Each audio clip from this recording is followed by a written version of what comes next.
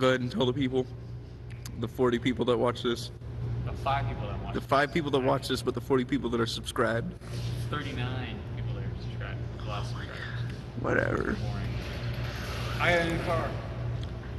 What is it? It's a Nissan Versa.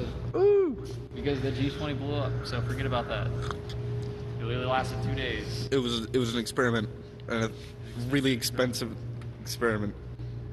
Hey, look. You said you It's what's. a Oh, oh, we gotta cut that.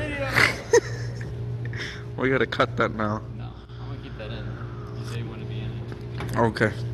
He just he just kind of walked in front of me, so you know. Oh yeah. Already, didn't even have to put that on. What kind of rims are these? Knockoffs, I think. I don't know. Focals. It's a knockoff of a knockoff. Knockoff. They're multi-spoke. They kind of accent the car.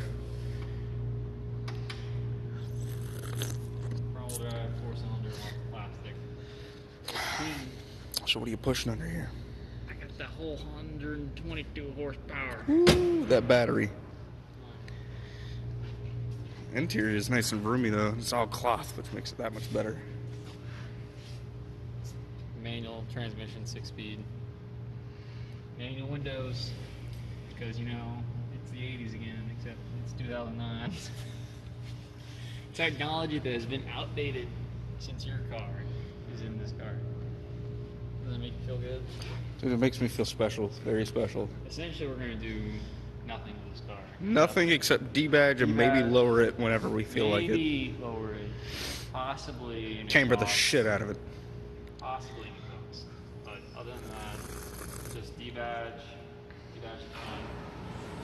And yeah, should be about it. Chamber We're the out of- fuck out of it. The reason we're out of work is because we work 12 hours a day and we don't have time to do things at home All day, every day.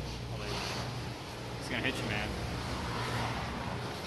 What is he doing? PDI. Like a pro, man. Okay. It's been working here too long. Other than that, Uh, About it. that's it. Okay. back. Look at it. Look at it. It's a hatchback. All that space. Space. Told you It's actually really roomy too. All right. Got to get the thumbnail. Thumbnail. that was perfect.